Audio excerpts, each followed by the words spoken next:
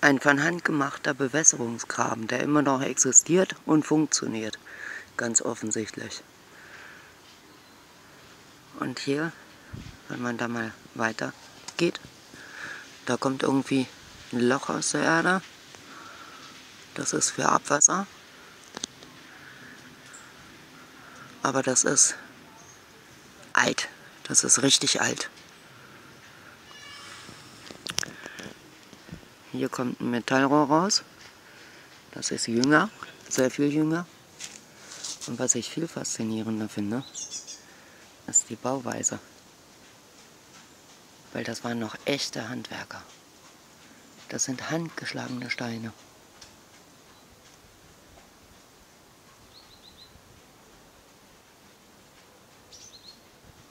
Das ist neue moderne Technik für Hochwasser etc. blub blub.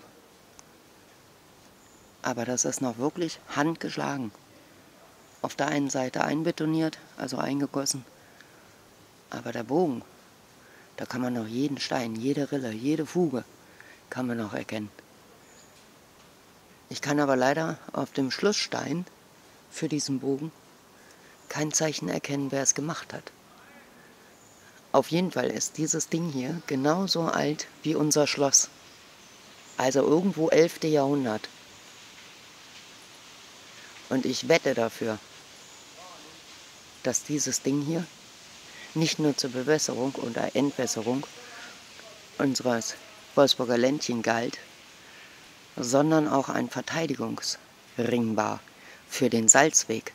Denn in diese Richtung, wo jetzt das Rohr rauskommt, geht es direkt zu der alten Salzstraße, die wir hier haben, nämlich zu dem Kalibergwerk aus Wolfsburg. Es weiß kaum einer. Und die Gerüchte um diese uralte Brücke sind ja nun sehr, sehr merkwürdig. Hier sind tatsächlich alte Wagen drüber gefahren. Wow. Mittelalter. Wie alt ist unsere Stadt? Mittelalter? Hm, fangt mal an zu rechnen.